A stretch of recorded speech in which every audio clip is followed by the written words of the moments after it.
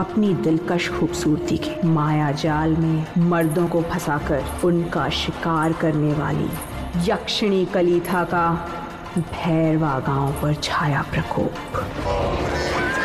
यक्षिणी की दहशत से परेशान गाँव वालों ने एक तांत्रिक की मदद से उसे कैद कर लिया। अग्नि की लपटों से घिरी कलीथा ने दी एक चेतावनी। कलीथा! सौ साल बाद, भैरवा में फिर एक बार काला साया मंडराया। कलीथा जैसे तीखे नैन नक्श वाली मोहना के गाँव में आते ही वहाँ के बच्चे गायब होने लगे। क्या कलीथा मोहना का रूप लेकर वापस आ गई थी? भैरवा का रक्षक, एक तेजस्वी साधक, रुद्र क्या समय रहते उन लोगों को यक्षिणी के प्रकोप से बचा पाएगा? या कमज़ोर पड़ जाएगी उसकी साधना की शक्ति कलीथा के सामने?